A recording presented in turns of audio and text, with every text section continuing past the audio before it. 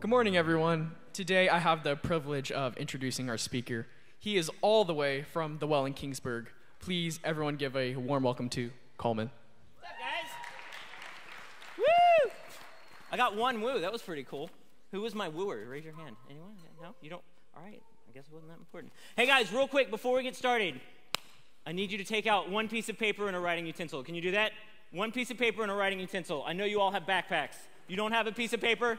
Grab one from a buddy. We're going to share together. And if you're looking at me with a grumpy little look, I don't want to do that. Do it anyway. Because I know junior hires, you have attitude, right? Guys, I'm going to do it too. Front row, you need paper? There you go, bro. All right, guys, give one hot dog and one hamburger fold. Hamburger is this way, or burrito and taco, I don't know what you want to call it. So that when you fold your paper, you have four, like four sections. That makes sense? And then unfold it. These are really simple instructions. I tried this with my four year old this morning. He could do it. So you've got this. All right, you all there? Oh no, I just dropped it. Oh, okay. All right. I'm going to pray. You can keep folding. Do it quietly. All right. Heavenly Father, Lord. Father, uh, we believe the truths that we just sang. We believe your name is beautiful. We believe your name is powerful. And Father, uh, we, we want to be echoes of that in the world around us. We want to be a people, we want to be a people who realize that this new life that you've given us is not something that we just sit in, but this new life you've given us is something that we move in, that we're active in, that the gospel and what you've called us to is not just something we believe, it is something we do. And we thank you in your grace and in your glory for calling us to partner with you in that. So Father, today as we look at as we look at who we are, or better yet, we look at who you say we are. Father, would we realize, would we truly realize what are the most important things in our life are? Would we realize the truth of what your word has to say about that? And Father, would that truth shape who we are and what we do and what we think and how we act and what we say and the way we live in this world around us so that people could see you in us. We pray this in your holy and precious name. Guys, take your sheet and I want you to do this. I don't know you. Some of you I know, many of you I don't. What I want you to do, I've never met you, and I'm going to ask you a question. Tell me about yourself. Four things about yourself. It could be an ambition you have, it could be something you're good at, it could be a hobby that you have. Four things about yourself on this sheet. Write them down. Four things. I'm going to do the same thing, but I'm going to do it as if I was in high school, okay? Four things. Four things about yourself.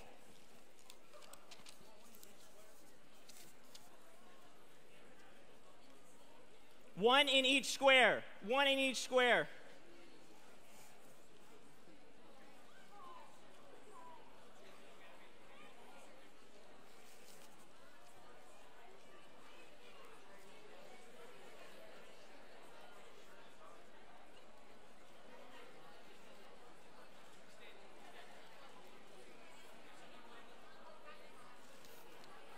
All right. All right. Just a few more seconds. Just a few more seconds. Tell me about yourself. Four things about four things about yourself. All right. If you've done it, hold it up and look at me. If you've done it, hold it up and look at me. All right, guys, I wrote these four things. I don't know what yours are. Maybe you wrote, I'm an athlete. I'm a basketball player, football player, tennis player. Maybe you wrote, I like music. I'm a musician. I make music. I write music. I sing music. Maybe, bring it in. Bring it in. Maybe you wrote something you want to achieve. Maybe you wrote, I want to be a valedictorian. I want to go to this school. Maybe you wrote a hope or a dream or a profession that you want to do. I want to be an engineer. I want to be a teacher. I want to be an astronaut. I don't know. Do, do you guys still want to be astronauts or is that done in like fourth grade? Anyone want to be an astronaut? No? All right, these are the things I wrote. If you had asked this question, tell me about yourself when I was in high school, I would have wrote this. I would have told you this. I'm a trombone player. I played trombone in high school. Some, someone just laughed at me. That's cool. Uh, so, yeah, I was really popular. The ladies thought it was really cool that I played trombone. Not really. Uh, the other thing, I love, I loved and still love reading. I just, I've always loved reading. I've always loved books. Uh, so it's something I've always been about. I've always loved reading. I would have told you that. The other thing I would have told you, I would have told you I love Yosemite. I love national parks. I love being outside. I love, I love seeing, seeing big trees and big rock faces and walking through them. And the other thing I would have told you, which I think a lot of you in this room can relate to, I love food. Amen? And if you've probably know this about me already, I've been here a few times. Even at this age, my favorite food in the world was tacos. So I love tacos. Those are probably four things I would have told you about myself. If you go to Philippians chapter 3, and we're going to go through it real quick, we're going to see, bring it in. In Philippians chapter 3, we're going to see a few things. We're going to see Paul. We're going to see Paul tell us four things about himself. And we're going to see him tell us what those things about himself, what those things about himself mean. So if you could go there, Philippians chapter 3. Philippians chapter 3, that would be fantastic. Let me flip there real quick, and then we'll get there. You can follow along on the screen. You can follow along the screen. That's awesome, too. Philippians chapter 3, starting in this, starting in verse 1. This is the Apostle Paul writing to the church in Philippi, and he says, Finally, my brothers, rejoice in the Lord. To write the same thing to you is no trouble for me and is safe for you. Look out for the dogs, look out for the evildoers, look out for those who mutilate the flesh, for we are of the circumcision, who worship by the Spirit of God and glory in Christ Jesus, and put no confidence in the flesh. Verse 4 Though I myself has re- have reason to put confidence in the flesh. I'm going to start right, stop right there in that first half of verse 4. What is he saying? That's a weird phrase. Do not put confidence, do not put confidence in the flesh, though I myself also have reason to put confidence in the flesh. What do you think Paul's saying when he says that? It's a strange thing. We don't talk that way, do we? Well, Paul's about to tell us, he's about to tell us his four things. Paul, for us, is going to answer the question, Tell me about yourself, and he's going to give us his four things and he tells us right off the bat, he's giving us a hint why he's telling us these things. And he's saying, he's asking the question or, or telling us not to put our confidence, not to put our hope or our trust or, or the hope for our future in these four things. And what I love, he says here, he doesn't go, hey guys, don't do this because I never do this and I'm perfect. He goes, guys, don't do this. And he raises his hand and he goes, guys, I struggle with this too. I'm not good at this either. I put confidence I put confidence and hope and trust into the things that I do, into the ambitions, into the ambitions that I have. And Paul raises his hand. And he says, I do this too. And he says, though, I'm, though I myself have reason for confidence in the flesh. Further on in verse 4, if anyone else thinks that he has reason for confidence in the flesh, I have more. What Paul just tell us? He's like, hey, I put down four things, and the four things I put down, not only am I really good at them, among my peers, I was the best at them.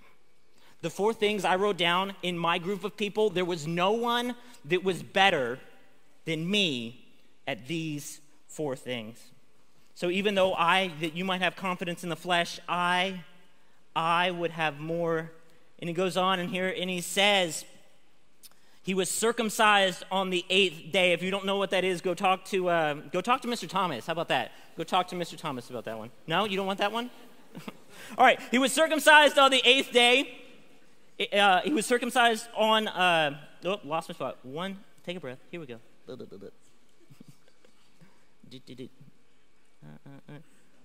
circumcised on the eighth day of the people of Israel, of the tribe of Benjamin, a Hebrew of Hebrews. What's Paul saying there? He's going through his Jesus, he's going through his Jewish heritage, and he goes, "Hey guys, I was circumcised like I was supposed to be as a kid on the eighth day. That makes me that makes me Jewish." And I was, a, I, was of, uh, I was of this tribe. I was of the tribe of Benjamin. That makes me even more Jewish. And even among Hebrews, even among all the Jewish, I was like extra Jewish. So the first thing Paul would have written on his sheet, he would have gone, I'm not just Jewish, I'm super Jewish and I'm more Jewish than the rest of my friends. The way this would work in our lives is when people start stories and they're like, I grew up in the church. I was baptized when I was two days old. I know everything about everything. I've never missed Sunday school. I go to everything. I'm at every church event. I'm there for Wednesday night potlucks. I'm at every youth group meeting. I volunteer. It's that. He's saying, hey, look, I grew up in the church. It'd be like us saying, oh, I'm super, I'm super Christian, right?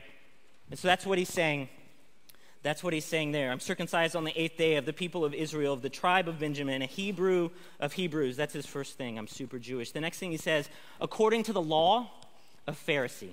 The law for these Jewish people was basically our Bible, first five books, first five books, and then following uh, of, of, the, of the Old Testament. And he says, according to that, according to knowing that and understanding that, I was a Pharisee. These Pharisees are like the elite. These Pharisees are the best and the brightest of this Jewish community. They're, they're like functionally like Jewish lawyers and politicians and leaders. And they're there because they're super, super, super smart. This is the person that goes, I have like a Bible verse memorized for every book of the Bible. I can tell you every book of the Bible in order without singing some goofy song. I can tell it to you backwards and forwards. I can tell you themes. I can tell you characters. I really know, I really know my Bible. That's his number two.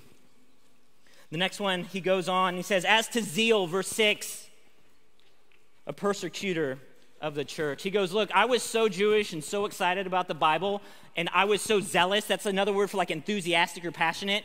I was so zealous about this that anyone who wasn't Jewish, I wanted to fight. Anyone who wasn't Jewish, I wanted, I wanted to make their life miserable. And so he kind of picked on this this group of people, this tiny little church, this group of people who were now following Jesus and they weren't following traditional Jewish customs. They were saying, "Hey, I think I think we need to do something different." And he says, "I was so I was so good at being Jewish and I knew my I knew my my Jewish Bible so well. I was I was zealous, I was passionate. I was so passionate that I just picked fights with anyone who wasn't Jewish." And the last thing he says is this: As to righteousness under the law, blameless as to following the commandments of God, he says, I was really good at it. I was really good at keeping 10 commandments. I was really good at keeping Torah. I was I was a good kid. In our context, this is the person who like never gets in trouble, right?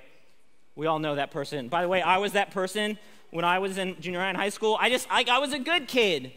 I never did naughty things. I never snuck out of the house. I never did anything my parents didn't ask me to. I just, I followed the rules. And that's what Paul's saying. He said, Look, I followed, I followed the rules. If you were to look at Paul's four things that he's written right now, knowing what you know about him right now, would you say he's successful?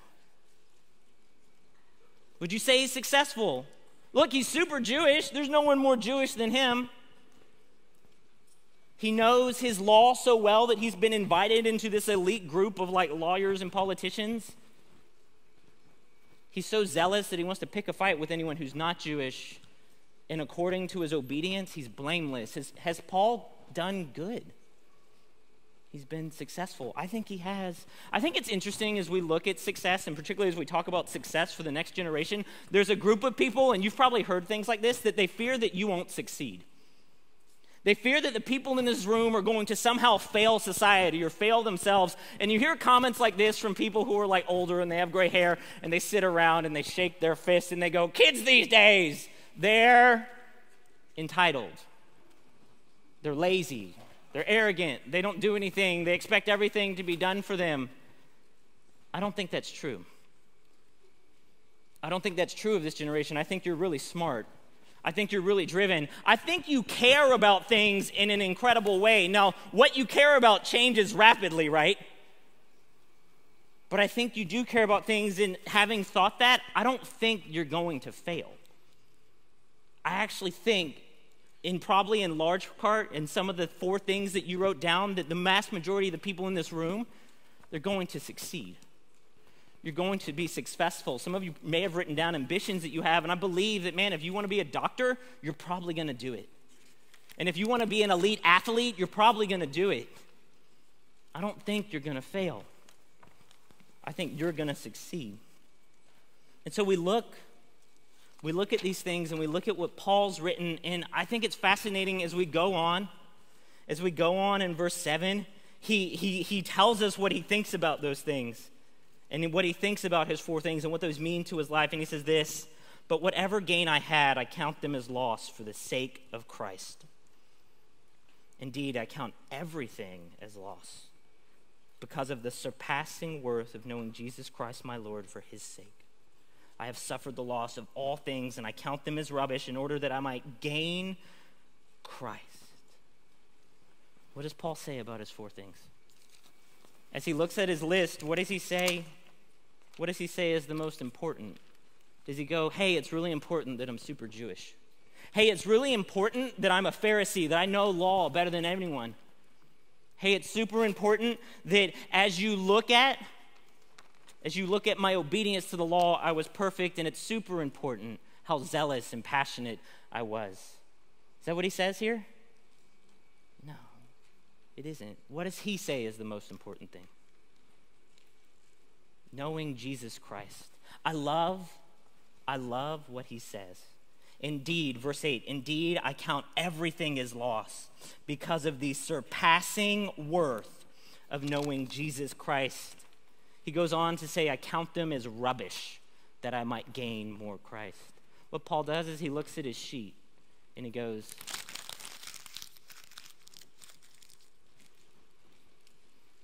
For a little more Jesus, I'd throw it all away for knowing more Jesus, I'd crumple it up and I'd, I'd, throw it all away. It's nothing but trash to me. It's nothing, it's nothing but rubbish. It's nothing but rubbish to me.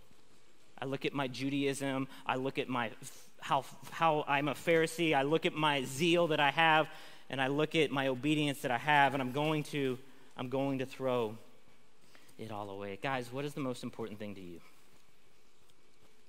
What is the most important thing to you right now? For someone in this room, the most important thing in this world to you is plastic straws and sea turtles. It's true. You laugh, you laugh. But for someone in this room, that is absolutely true. And you think you and your hydro flask are going to save the world. The scary thing is, bring it in. The scary thing is, bring it in. The scary thing is that that doesn't bother you and it should. It doesn't bother you, and it should. For other of you in this, for other of you in this room, the most important thing in this world for you right now is some relationship. In fact, there's someone in this room, you've been in school, what, all of like 30 days, 28 days? How many weeks of school have you had? Four or five? There's someone in this room who's on their second boyfriend or girlfriend after school starting. There's someone in this room who is. What, what is the most important thing to you? Bring it in. What is the most important thing to you? That's the most important thing to you. And the scary thing is, is it doesn't bother you. And it should. And there are other people in this room who the most important thing is maybe something you wrote on that sheet athletic success, academic achievement. You want to be popular, you want to be accepted. That's the most important thing to you. And that doesn't bother you. And it should. that we take all of these things in our lives, we take even things that we're good at, these things on our sheets, and we go, they're more, they're more important than Jesus. Guys, I said to you that I'm not afraid that you're going to fail. I don't. I'm not worried that this generation is going to, fa- going to fail. What I'm worried is that this generation is going to succeed in something that ultimately doesn't matter. What terrifies me is that many of you in this room are going to succeed in something that means nothing, and that doesn't bother you. And it should, because this thing you hold in your hand is the most important. These four things are the most important. What I don't want you to hear today is that you should take these four things and throw it away. I just want to go through Paul's life as we close, and I want to look at these things, and I want to look at what Paul says. He doesn't say that I'm going to take these things and they're not important. He says that in light of who Jesus is, Jesus is so much better than all of these things that when I compare these things to who Jesus is, these four things become what? Trash. That's when I compare them to who Jesus is. He says the surpassing glory of Jesus Christ. When I compare them to Jesus, they become trash. But he doesn't say they're not important, which I think is interesting. And if you unfold this, maybe you crumpled yours up too.